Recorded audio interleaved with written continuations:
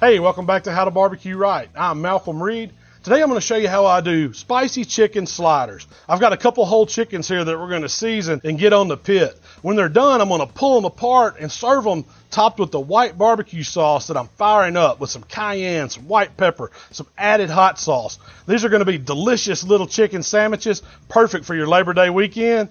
Let's get to cooking. So I'm starting with a couple whole chickens that I picked up at the grocery store. I just brought them home, took them out of the package, and just kind of cleaned them up a little bit. If there's any excess fat or anything, I just trimmed that off, threw away the giblets, anything that's packed with it. I just want the chickens. And now we're ready to get them seasoned up. So what I've done, I've taken some paper towels, dried the skin, and I'm going to use some cooking spray to put on the outside to help our seasoning stick and to give it some fat, something for it to crisp up a little bit.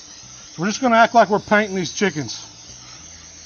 That's good on the back side. And this side's going down the whole cook. It doesn't matter as much, but I still like to get some season, some flavor on it. And I've got my hot barbecue rub. If you've got another spicy rub that you like, go ahead and use it here. It'll work perfect. Just want a good coat. We're going to pull these chickens apart at the end so you can go kind of heavy. We really want some flavor. That looks good. I'm to turn them over. We're going to do the same thing to the breast side. Got some paper towel. We're going to take that excess moisture off. Just want them dry as possible. The oil is going to help the seasoning stick, but we don't want any moisture on them. Doesn't hurt to dry the cavity out a little bit too. These look good. They've been setting out for about 30 minutes. So we're going to spray them with our cooking spray. We're going to hit them with more dry rub. Get some extra down in that cavity. That looks perfect. Now I'm going to spin them around, make sure I get some on the front side too. I'm just going to use my hand, kind of pat it, make sure we get in there. You want to get in all the little cracks, crevices. Get seasoning all over it. Now we're just going to let these birds hang out I'm going to fire up the grill, show you what we're cooking on today. Now for this cook, I'm firing up my Traeger pellet grill. I've got it full of pecan pellets. That's going to give us some good flavor on the birds. And I'm running the temp at 350 degrees. I want that skin to render down, to get bite through, but it also helps keep the meat nice and juicy. Now you could use any grill you want. You just want to run it at that same temperature to get the same results. So the Traeger is up to 350 degrees. That's exactly where I want it. We're ready to put these chickens on. We've still got some smoke coming out, so we want that to get all around these birds. And I'm not really worried about presentation on this because we are going to pull these chickens. So I'm just going to get them on the pit here. We'll cook one one way. I'll put this one going this way. That looks good. Now we're just going to close the lid on the Traeger, let it do its job. We'll check on them in about half an hour. All right, it's been 30 minutes. We're going to check these chickens out, see how they're looking. Color's looking good on them. You can tell they're rendering. They got juices dripping out of them. We're just going to keep rolling them. But now is where I want to start watching that internal temperature. So I'm just going to pick this one here. We'll go in the breast, thick part. I've got my dot set to 165. We're looking at about, what, 78 degrees. We still got a ways to go, but we'll just let them keep cooking. Get the lid closed. We'll show you what they're like when they're done. So it's been about 45 total minutes. You can see we're climbing up to about 105. Let's take a look at these birds. Starting to get some color on them. What I'm to do at this point is just give them a little bit more cooking spray. Just kind of keep some moisture on that skin, some of that oil. Doesn't matter if they crack like they're doing split. We're not worried about that because that means season's to get down in there as it cooks and renders. We're not going for really appearance. We're just really worried about getting the chicken done at this point. So we're to pull it all apart. It's looking good though. Close the lid, keep on cooking.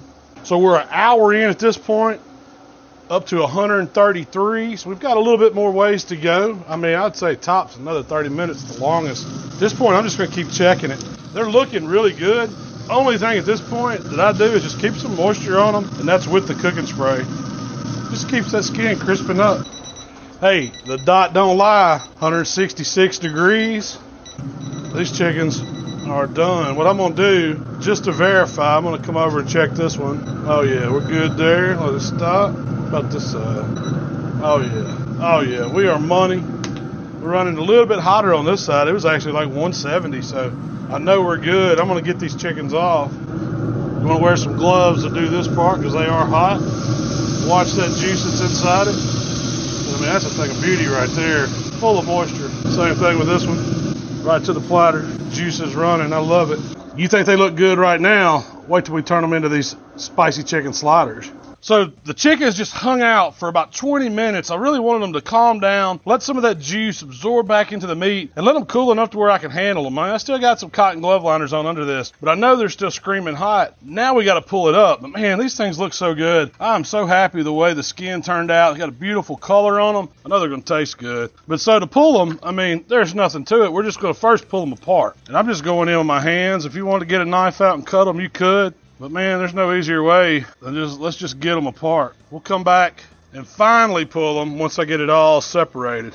Pick that carcass clean. But right now, we're just going after the meat, getting it off the bones.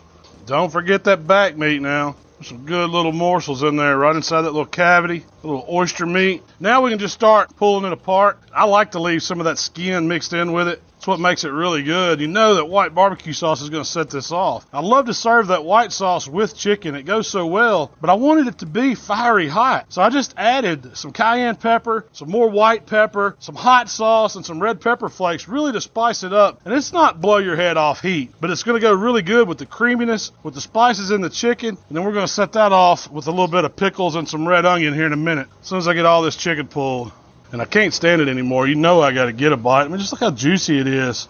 I know it's gonna be good. Hmm. Mm. I love cooking whole chickens. They really do have the best flavor. Even the wings, popping the bones out, pulling those, the little skin that's left there. Probably not gonna put that in there. That's a chef bite. Mmm. Heck yeah. That's the flavor. You taste the smoke. You can taste the spices in the rub. So now I'm just mixing the dark meat, the white meat, still juicy. I'm gonna move it over to a pan so we can do the other one. And it look, I mean, just check out how much pulled chicken that is. That's off one whole smoked chicken. That's a lot of meat. It's gonna make a lot of sliders. Now we're ready for our other one. Take them wings off. I may have to hide those. Those are too good to put in these sliders. Come here and get the breast off. Leg quarters. That chicken's perfectly cooked all the way through. Still hot, I can feel the heat. You just can't beat whole smoked chicken, I man, where the skin bust kind of exposes the meat and it makes a bark on it. So you get a little of the crunchiness and you mix in some of the skin with it. Man, it's fantastic. So this is a pan of pulled chicken. I mean, we've got two whole chickens in there. We shredded it. We mixed the white meat with the dark meat, all the spices from the rubs mixed in with it. It's going to be a ton of flavor. And at this point, you could wrap this up with foil you can refrigerate it, warm it back up, make it the next day, take it to the party, build the sandwiches, whatever you want to do. I'm going to show you how I'm going to build these chicken sliders. So we've got some little split slider rolls. These are Hawaiian brand. You could use whatever you like. I'll go ahead and set a couple of them out here. So the first thing I'm going to put on here is some sliced pickles. You could use dill, sweet heat, whatever you like. But I like that contrast that the pickle gives this chicken sandwich. Once we get a few pickles down, I'm putting four on every one of them. I like pickles. Now we're ready for the chicken. So we're just getting some chicken, going right on top each slider, as little or as much as you like. I want some meat on mine. I know that. And that is it. Let's go a little extra on that one. Now we're topping with our spicy white barbecue sauce. Just give it a little squeeze over the top. Let it run down. That looks awesome. Top that off with these pickled red onions. And we have pickled red onions at my house all the time. They're the perfect barbecue condiment. They're great on tacos. Heck, we even eat them with vegetables. And I'm going to put just a few right on top for a little bit of crispness. That looks good. Pickled red onion, spicy barbecue sauce, the pulled chicken. Finish it off with the pickle. I mean, those are some awesome looking sliders right there. You can skewer them with a little toothpick if you want, just to keep them together for when you're going to serve them. I'll make me another one. And Mike, you gonna come have one with me, son? I'll make you one too. Let's get some pickles on here. You like pickles on yours? Yeah, I love pickles. You love pickles. now we need some of the chicken. Are you onions or no onions on yours? No onions. No onions? Why not? I don't really like them. How about the spicy white barbecue? You can do that, right? Yeah. There you go. There we go. I'm definitely going for the onion. It gives a little sweet pop. Mike, let's try them. You ready? Yeah. It's gonna be messy. Don't let it get all over you. Mmm. What do you think, son? It's good. That's a winner, ain't it? Mmm. I got it all over me. That's when you know it's good. That's a fine little chicken sandwich, isn't it? Spicy chicken slider. I'm picking up the heat. The onions, the pickles go great with it, and it's so simple. But the white barbecue sauce brings the spice, but it's not too hot, is it?